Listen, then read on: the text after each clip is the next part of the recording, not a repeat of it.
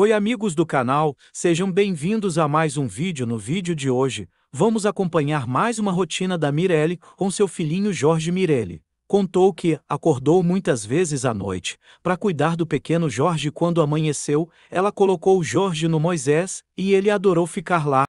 Mirelle também aproveitou a noite, já que Jorge estava quietinho para cuidar de sua pele de suas unhas também. Antes de conferir o vídeo completo, meus amigos, peço que se inscreva no canal, se ainda não for inscrito e deixe seu like.